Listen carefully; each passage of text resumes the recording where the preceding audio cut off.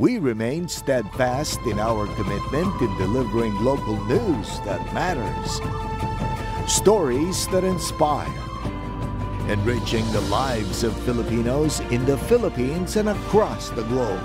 This is your GMA Regional TV. Buong puso para sa Pilipino. Kini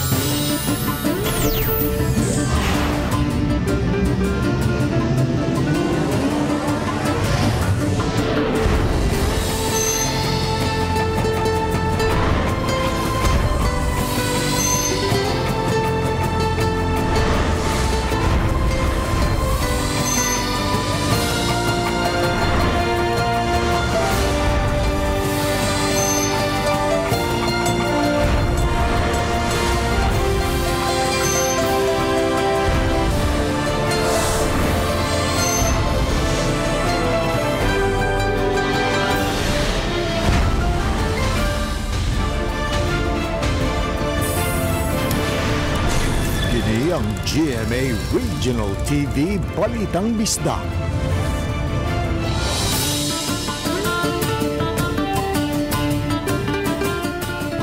May hapon, uh, kina ang inyong GMA uh, Regional TV Balita Bistak ang bugtong kasaligan, kasandigan o kadangpan sa mga Bisaya. Ako si Alan Domingo. Nga maghatod sa labing dakong mga nagunang balita nga mahinungdanon sa Central ug Eastern Visayas. Live din hi sa GMA Complex sa Dakbayan sa Sugbo. Ako si Cecil Kibod Castro. Nagkasuhay na katong driver sa modern uh, jeepney o traffic enforcer nga iyang naligsan dito sa Dakbayan sa Mandaue. Mga traffic officials mulusad og refresher training ug seminar sa mga drivers. Ano ang report ni Nico Sereno? Sa opisina sa team nagkaabot kaganihang buntag ang driver sa modern jeepney ug ang enforcer nga iyang naligsan. Gipatawag ang tigom sa labaw sa team kay kitambungan sab sa representante sa operator. Ang insidente ni atong Martes sa Udto nga nakuhaan sa CCTV makita ang aksyon nga pag-overtake sa modern jeep nga mag-left turn di ay. Nakatalikod ang enforcer dihang iyang nadumbulan. Matud sa labaw sa team, nangayog dispensa ang driver ngadto sa enforcer dungan sab sa pagpanaad nila sa iyang operator sa dugang tabang niini lakip na sa pagpa-CT scan. Ni-apologize gid siya. In fact, ang atong enforcer naluoy gid sa atong driver. Kay pobre man sa taon. Dili na siya mo file og kaso or ah, kung makuha na sa ang CT scan kung okay na, okay ra sa pamilya. Kay nahusay rang insidente dungan sa pag-aksyon sa Tulubagon, hayan ipa-release na ang lisensya sa driver nga gihold sa pagkakaron. Apan gusto ang team nga human sa nahitabo, muhimo og seminar sa mga drivers aron mapahinumduman sa traffic rules. Suportado sab kini sa City Hall aron masiguro ang kaluwasan sa kadalanan. Tanan gyud nga mga modern bus atong unahon niya dayon ang uban. So muna naa sa among PGS nga plano please maintain uh, road safety at all times. Ang atoang pagdagan sa karsada is a privilege. Uban ni Godfrey Relien, Nico Sereno. Balitang Bisdak. Makapadayon na gyud ang katukuran sa nahabiling bitukan dana sa Cebu City Medical Center kung CCMC. Ano ang report? Gilagdaan na ni Mayor Mike Rama sa ngalan sa Cebu City Government ug sa usa ka kontraktor nga motiwas sa pagtukod sa Cebu City Medical Center nga adunay napuo ka dana. Apil usab sa trabahoon ang interior sa 4th ug 5th floor sa Tambalanan. Pinagi sa pagsunod sa proseso sa Bids and Awards Committee, gihatag ang 900 million pesos nga kontrata diin unang naaprobahan sa konseho ang mukapin sa usa ka bilyon ka pesos nga gahin sa pagkumplito sa Cebu City Medical Center. Matod ni Rama nga dugay na kaayong ipaabot nga mahuman ang tambalanan busa gihangop nini ang positibong kalambuan. That is a promise that I have made when I was a mayor in 2013 and have that whole thing being commenced in 2015. Samtang gihagit ni Mayor Rama ang konduktor nga kon mahimo humanon ang proyekto sa labing daling panahon. Giulagway nini nga mahinungdanon ang CCMC alang sa mga kabos apan ang serbisyo ikatandi sa mga pribadong tambalanan. kay hinumduman nga nagusbat ang karaang CCMC atol sa pag-igo sa 7.2 magnitude nga linog niadtong tuig 2013. I really affixed my signature. I would have included a blood compact as I was sharing with them to have the whole civic works to be completed in couple of months. Kauban si Cleofer Lumayag, ako si Alan Domingo. Balitag, Bisdak.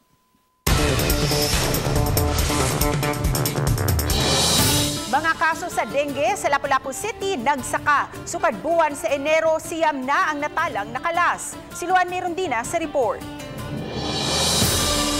Kasamtangan karong gihaya sa ilang panimay sa Suba Masulog, Barangay Basak, ang 10 anyos nga si Sinji Sasil. Siya na ang ikaduhang bata nga taga Suba Masulog, Basak nga nakala sa dengue karon lang tuiga. Nakasinati sa taas nga hilanat si Sinji Marso 29. Gipainom ni Margie ang iyang anak og tambal sa hilanat apan wa gayud mulurang ang temperatura niini.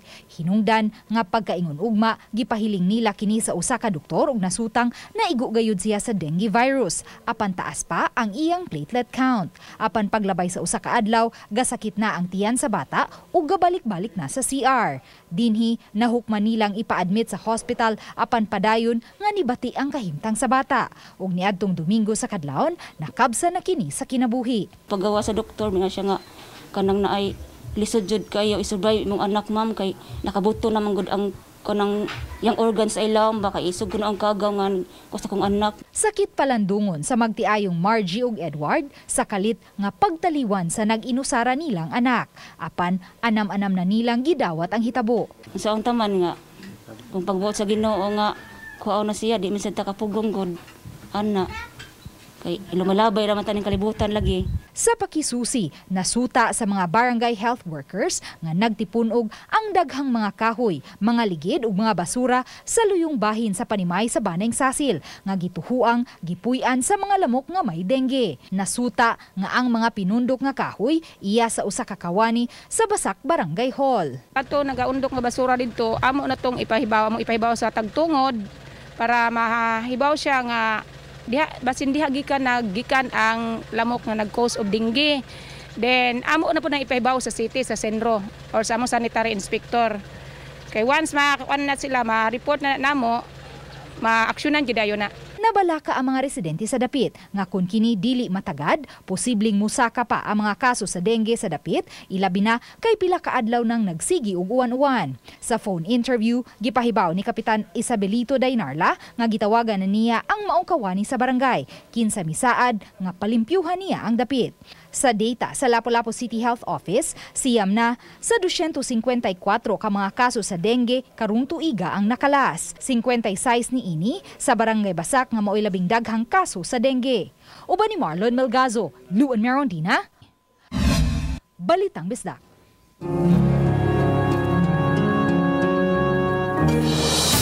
Giplansya na sa kanagkuan sa simbahan, lokal nga kagamhanan, kapulisan o ubang ahensya sa kagamhanan ang mga kalihukan sa Simana Santa sa sunod simana. Ano ang live report ni Femary Dumabok. Fem.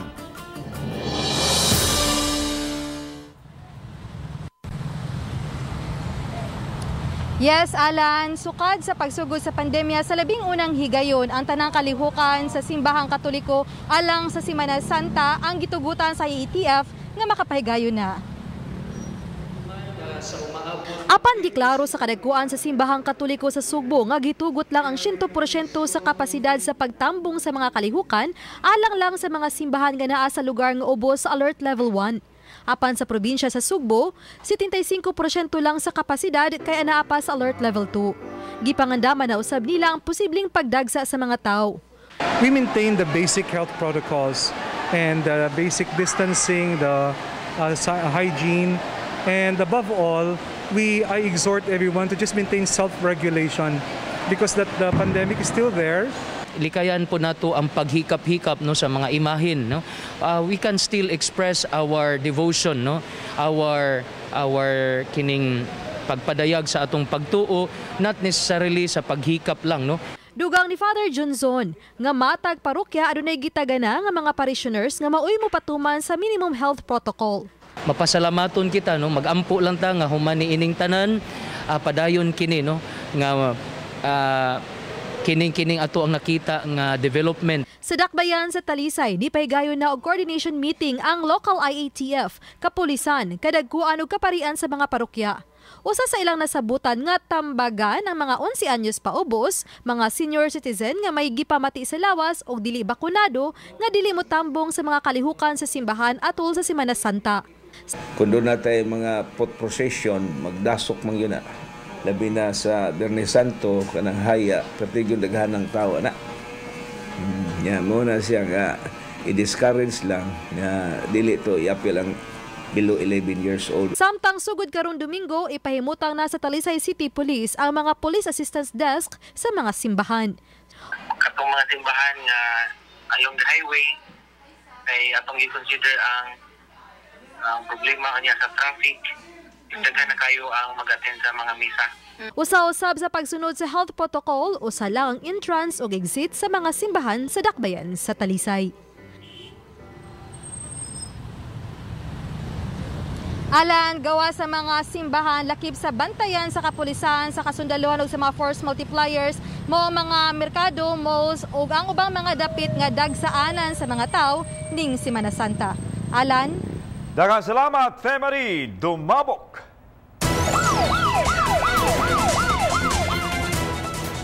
Duhang nakala sa aksidente sa kadalanan sa lungsod sa San Jose sa Salawigan sa Negros Oriental. Nabugtuan sa iyang kinabuhi diha-diha dayon si June Chris Masion, 23 anyos, taga Santa Rosa, Dumaguete City, human mabanggai sa dump truck nga nawad-an og preno sa crossing sa barangay Tampi, San Jose. Giingong napasok pa si Masion ilawom sa maong dump truck. Gisuwayan pa unta nga dadun siya sa tambalanan apan gideklarar nga patay na si Masyon. Pipila ka oras nakabsan ra usab siyang kinabuhi ang babayng angkas ni ini. May mga payag usab daplin sa daan ang nangaguba human mabanggai sa dump truck.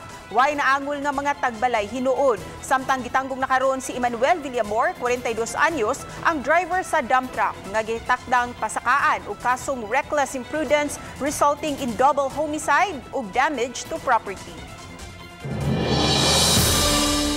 Mga kapuso, ato makita karon ang uh, kahimtang sa traffic area sa may Archbishop Rias uh, Avenue sa Dakbayan Sugbo. Ina itong uh, makita sa ito ang uh, TV screen, light, ang uh, uh, dagan sa mga sakyanan sa Picas Lane. Apan, medyo nag-build up na ang dagan sa Picas Habig, mga kapuso. Kini, uguban pang mga balita sa pagbalik sa Balitang Bisdak.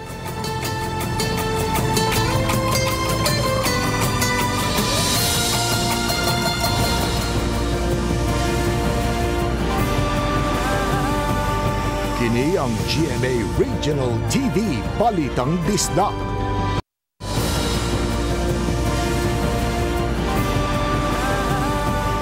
Kini ang GMA Regional TV Balitang Bisdak.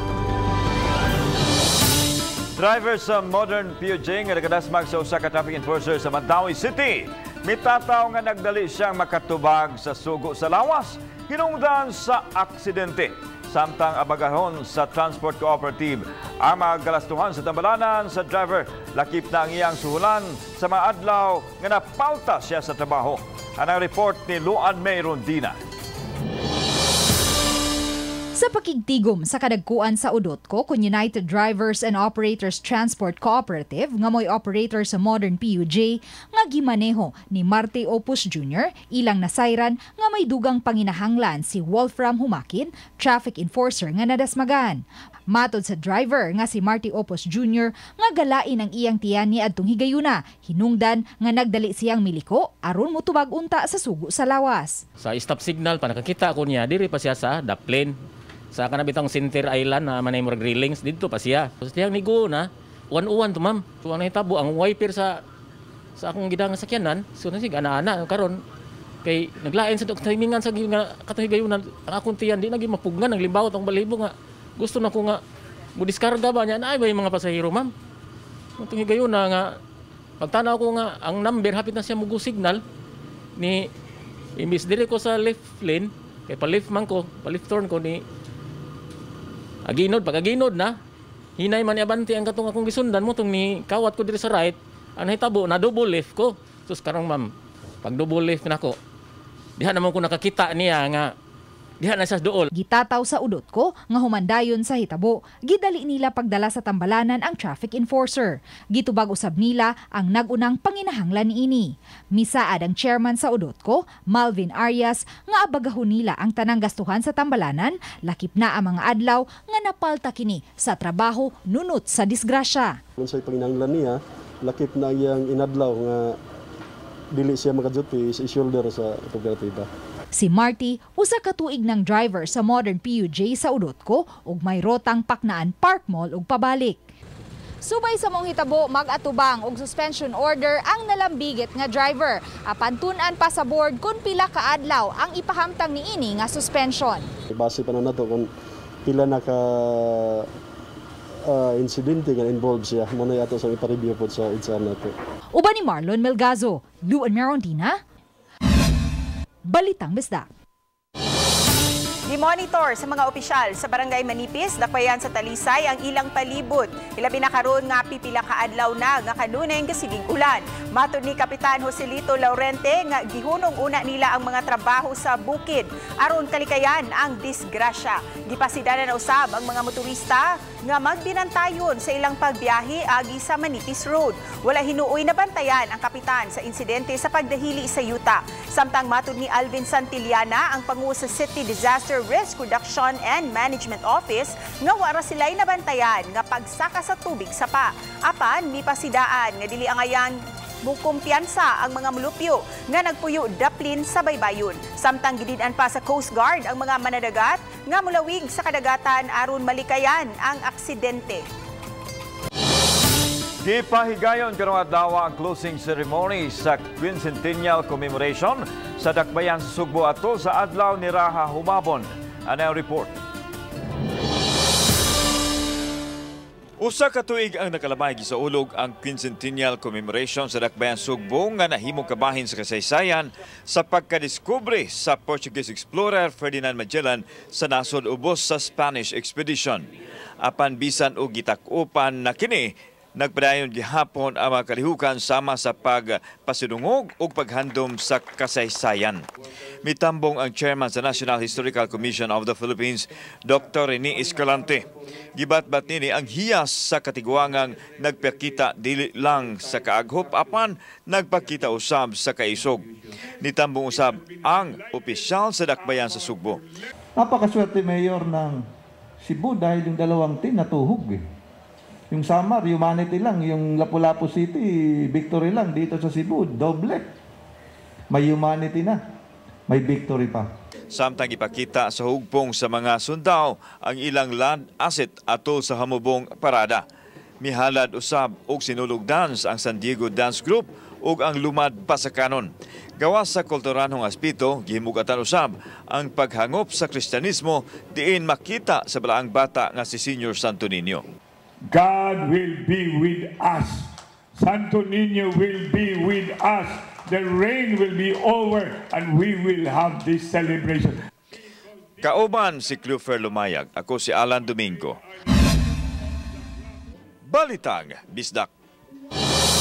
Nangayo pa ang Mandawi City og pagtugot sa COMELEC kung mamahimo bang makadistribute sa financial assistance alang sa mga tricycle drivers. Aprobado na sa konseho ang lakang nga maghatag og tag 5,000 pesos nga ayuda kanila. Taliwa sa pagsaka sa presyo sa gasolina. Apan malanghit pa sila sa COMELEC kung itugot ba kini taliwa sa election ban nga gipatuman karon.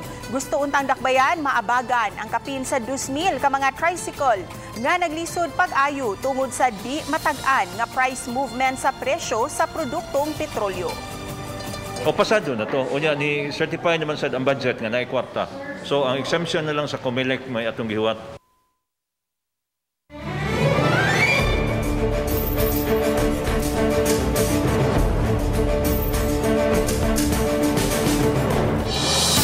Sa silingang lalawigan sa Negros Oriental, gisugda na sa Commission on Elections sa lalawigan ang pagtangtang sa mga campaign materials nga nakarapa sa Fair Election Act. Siloan Merondina sa report. Lakip sa gitangtang nga mga campaign posters ang gilansang sa mga poste sa kuryente ug sa mga punuan sa kahoy. Matod ni Attorney Lionel Marco Casiliano, Provincial Election Supervisor sa Negros Oriental, nga dungang gipahigayon ang Operation Baklas sa Dibok Rehiyon 7. Gitataw usab sa COMELEC nga wa nila tangtanga ang mga posters nga anaa sulod sa mga private properties bisan kun milapas kini sa gidakon nga gilatid sa balaod. Subay ni ini nag-ungong ang temporary restraining order sa Korte Suprema. Ang opisina sa atong election officer sa Dumaguete City nag-start karon sa Baklas. No, uh, karon Pizza City province wide eh, uh, magbaklas ang COMELEC inubanan sa taga DPWH o atong taga DNR as our deputized team members sa atong Operation Baklas team. Of course, atong PNP would provide the security. For the meantime, dili nato na mahilabtan kay naamang gud tay ginasunod nga temporary restraining order nga gi issue sa Supreme Court bahin nato petition nga nga kanilaging bahin anang uh, mga campaign material nga na post dia sa atong mga private property. So dili sa takahilabot at the meantime ana. So ba itong mga parang takon ra? So tanang kuan uh, campaign materials nga posted sa atong uh, uh, public property nga dili poster area o katong mga illegal size nga nagyapon sa public pa, pa, property. Miabag sa COMELEC sa Operation Baklas ang Department of Public Works and Highways, Department of Environment and Natural Resources ug Kapulisan. Samtang ang Kapulisan mipatuman sa kahapsay ug kalinaw atul sa Operation Baklas. Ang role sa PNP kaning atong gipahigayon nga uh, Operation Baklas is only security. Ang manangtang yod is ang taga DENR o ang taga DPWH. Ang sa DNR, labi na tong gipangpilit sa mga kahoy. Ang sa DNR, uh, DPWH kaning sa mga poste sa kurente o sa highway. So ang usara ang trabaho sa PNP to provide security. Uban ni Clans Gabutin, Luan Marondina, Balitang Bisdak. Pahimangno sa tanan aron dili mabiktima sa mga mangingilad. Ani usa ka babae nga nabiktima sa budol-budol dapit sa usa ka simbahan sa Dakbayan sa Sugbo. Nakuha sa mga sospek ang iyang cellphone ug cash nga 800 pesos. Midangop sa kapulisan ang biktima kinsa miasoy nga dunay duha ka babay ang nakigistorya kaniya ug mibilin sa ilang bag nga aduna kunoy sulod nga binandol nga kwarta. Apan gikinahanglan nga gamito nila ang cellphone sa biktima ug ang iyang kwarta. Murag na hypnotize kuno siya sa mga babay ug ulahin na niyang naambuhan nga nailad siya dihang gisusi ang sulod sa bag nga pulos mga papel. Wala na igkita ang mga sospek. Mga kapuso, si Asia's Limitless star Julie Ann San Jose mupakita sa unsay kahulugan sa pagbangon o paghangop sa bagong kaugalingon sa ikatulo ug final leg sa Limitless a musical trilogy. Ang three-part musical experience na umol ug giproduce sa GMA Synergy, usa ka GMA collaboration ug wala lang makadani sa mga concert goers sa nasod ug sa abroad apan sa mga international award-winning body usab. Karong bago na himong finalist sa prestiyosong 2022 New York Festivals TV and Film Awards. Ubo sa Entertainment Special, Variety Special category. Dugang mga sorpresa ang ipadayag atul sa Limitless Part 3 Rise nga maoy mo tapos sa Julie's Musical Trilogy. Busayo si Piata ang online streaming karong April 9 sa alas 10 alang sa wala pa makakuha sa ilang mga tickets, mamahimong mo log on lang sa gmanetwork.com slash synergy. Mapalit nila ang ticket sa tag 599 pesos alang sa general admission, 1,199 pesos alang sa VIP ug 2,995 pesos alang sa GA 5 plus 1 o kaha sa kantidad nga 2,399 pesos alang sa Synergy Pass Premium.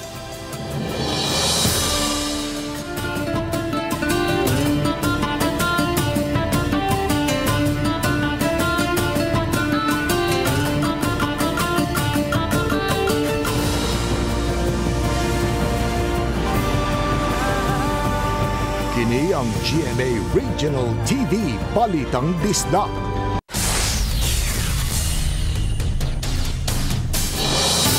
Mangubkubay ug bus kabaybayunan sa barangay Poblasyon, Talisay City. Gipasusi sa opisyal sa barangay. Ang report ni Femari Dumabo. Usang kabaybayunan sa barangay poblasyon sa Dakbayan sa Talisay nga sagad bisitahon sa gustong mutampisaw sa dagat tungod sa kalapad sa baybayon niini nga sagad puno sa mga bus. Apan pipila ka reklamo ang nadawat sa barangay maong pagpangubkub og bus daplin sa baybayon. Gipasabot ni Kapitan Edward Alisna sa barangay poblasyon nga gitugutan ang mga mulupyo nga manguha og bus sa baybayon aron ilang magamit. Gigamit ang bus sa dihang nang hatag og sinakong simento ang barangay alang sa 44 ka mga banay nga apektado sa bagyong Odette. Basig ang kuan to katong ilang gihakot para repair to silang balay tungod katong apektado bitaw sa bawod nang hatag man tag simento na itagil magsako na itagunom uh, sigon sa panginahanglan nila. Ya mo na nga anha ra sad sila manguha kay para kuan naman usage naman nila. Pero baligya na lain na nakasuha pod. Tulo ka tawo niyang ipatawag sa barangay o sa kanila, anak sa barangay health worker alang sa investigasyon nga ipaygayon. Kung napamatudan sa barangay nga gibaligya ang mga bus nga gikuha, hayan nga magatubang sila og kaso. Makigalay ng barangay sa Committee on Environment sa Konseho sa Dakbayan, kabahin sa investigasyon nga ipahigayon. Sige man gyud patawag aning kuan, dapat mi gi tanggong ginamo nga tricycle nga gikargahag bus nga hanturon apa man gyud Ya, una stricto man kita pero dili mo kita nga magbantay kita kada oras tuad kita dito. Na mga na mag-agatas mga reports mga silingan. Uba ni Jun Solon, ako si Family Dumabok. Balitang Bisdak. Lalaking migamit og mga peking dokumento sa yuta arestado sa taga-NBI dito sa Mandawi. Ang kaso may kalabutan sa mga giingong pagpangangkon sa mga bakawan ug yuta sa kabaybayunan nga dugay na usab gireklamo sa syudad. Ani ang report ni Nico Sereno. Pipila ka tuig na nga giimbestigahan ang giingong pagpasipa sa kinaiyahan sa barangay Paknaan. Ang City Hall una nang nagpakitabang aron masusi ang mi-claim sa yuta. Sukad 2016, nagkalapad na kuno ang area nga gi-reclaim nga nakapatay sa ubay-ubay nga mga mangroves o bakhawan. Sa pagpadayon sa investigasyon sa NBI, kagahapon mitunga sa ilang opisina si Raul Canoy nga may presentar og tax declaration. Apan una na di ay kini nga na-verify sa city officials ug sa NBI ug didto nasuta nga peke ang dokumento nga dala ni Canoy. Mao nga gidakop siya tungod sa kalapasan sa revised penal code. Nag-apply sila og uh, revision sa tax declaration but uh, it was denied by the city government because there were uh, budgets of uh, fraud no based sa ilang investigation and uh, also confirmed by our uh, question document. Gibarugan sa syudad, ubos sa Mandawi City Charter, ang dakbayan ang nanag-iya sa tanang foreshore lands o gani dunay plano ni ini. Pasabot nila ang lakang gihimo sa pagprotektar sa interes sa syudad sa ekta-ektaryang yuta. Almost 11 hectares na more or less ang ilahang gipang claim dito. We got certifications from PRA, we got certification from the different government agencies, DENR, and they have all certified that wala ni siya permit, wala ECC. Ay dakong posibilidad nga na ay nagpaluyuan ni nila nga uh, dakong tao or sindikato makaha kay uh, kung normal nga tao di maka dili maka engage sa ginanakadak uh, nga pag-reclaim. Sa mga nalambigit nga yuta sa Paknaan, giingong na subdivide na kuno ang uban ni ini ug nabaligya na sa uban. Mao nga auhag sa NBI sa mga posibleng nakapalit mupakita sa ilang opisina. Nay mga uh, inosente nga mga biktima, mga maestra na gani pulis nga nakapalit, no, nailad niini. Samtang gisuwayan ang pagkuha sa habig sa dinakpan, apan wala kini mo issue og statement. Hindi sa ako mutubag ana, sir. Hindi na sa ako mutubag. Uban ni Godfrey Relien, Nico Sereno. Balitang Bisdak. Mga kapuso, nakasuway na baka mo nga ma-inlove sa usa ka tawo. Giunsa ninyo kini pagpakita. Usa ko pa kamoy ideya sa iranta kini sa report ni Orchid Slapingkaw. Chocolates, roses ug mga stuffed toys mao kini sagad nga ipanghatag sa mga lalaki ngadto sa ilang gigog mga babay. Apan pipila usab sa mga love language, kipaagi og pagbinuotan, pagahinog oras, physical affection ug daghan pa. Apan pinalahi kining gipakita ni Denmark Panganduyon ngadto sa iyang asawa nga si Joris Panganduyon nunot sa ilang first wedding anniversary. Actually, ma'am, sa planning pa lang, ah, June, June pa lang nagaplan ako kung sa'y maayong buhaton. Nga surprise nga. something unique and unforgettable sa among first wedding anniversary. And then sa preparation na nag na nanghid na ko sa mga authorities sa nung atong February. And then one week may nag-practice og sayaw. Og syempre, kinsay babay ang dili makahilak sa bongga nga sorpresa nga flash mob gikan sa bana. Ang duha kapinsaon si katuig na nga nagigugmaay sukad sa ilang high school life. Og karon malipayon sila nga adunay baby sa ilang kinabuhi. Uban ni Clans Gabutin, ako si Orchid Salapingkaw. Balitang Bisdak.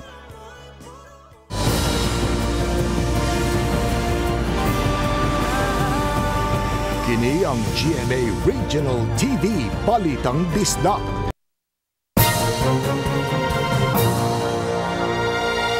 Kini atong latest weather update Thursday, April 7, 2022.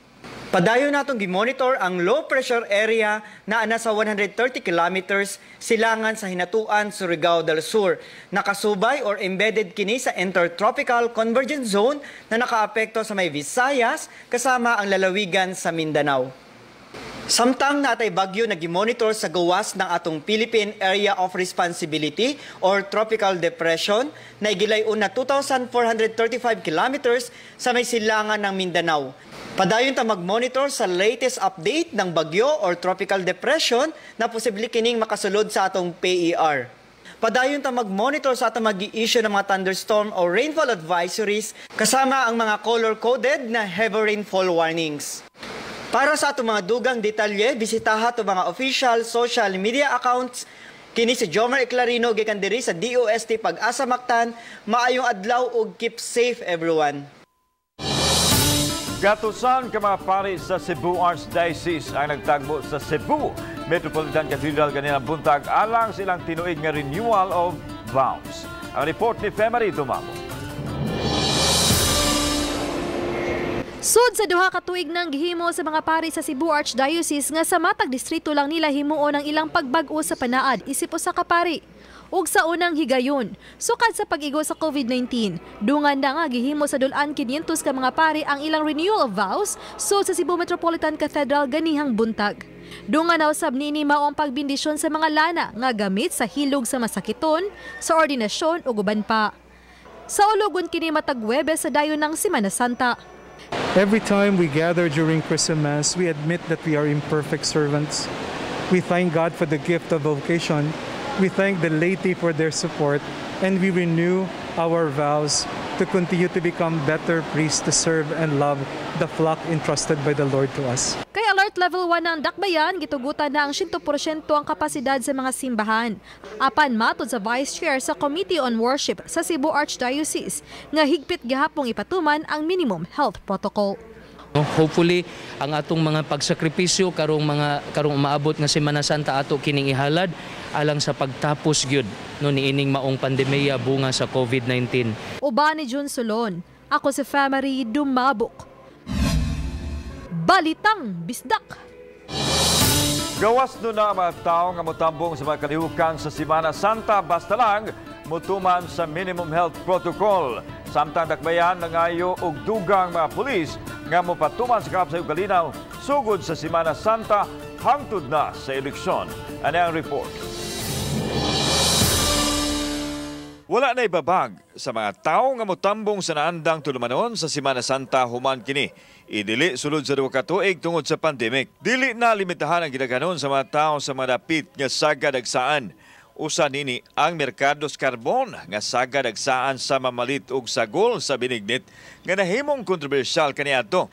Apan gikinahanglan gihapon nga magsulob og face mask. We thank our regional director, uh, Director Vega, no? Vega, ma- for hearing us for the augme- augmentation, which is necessary to the sustainability of freedom with shared responsibility.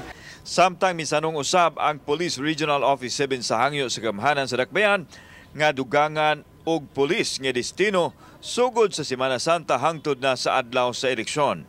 Idestino ang dugang mga pulis nga mobantay sa mga kalihukan sanglit balik normal naman ang tanan. Ipakatap sila sa mga dapit sa Dakbayan nga dagsaan sa mga tao. The need for people to be observant of the minimum health protocol. Kauban si Clover Lumayag, ako si Alan Domingo. Balitang Bisdak.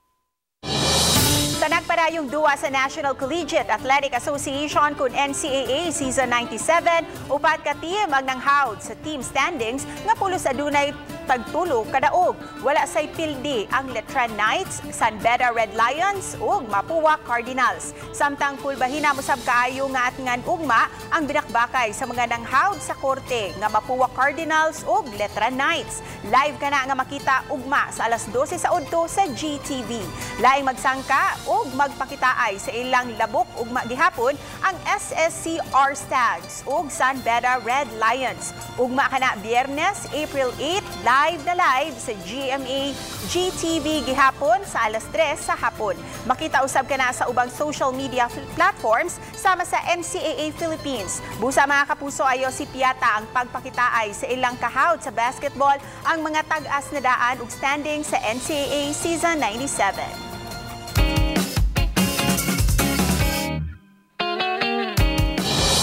Magagmay ngadto na sa mga dagkong mga lamiang kananan dinhi sa Sugbo gibida sa usa ka Sugboanong food vlogger.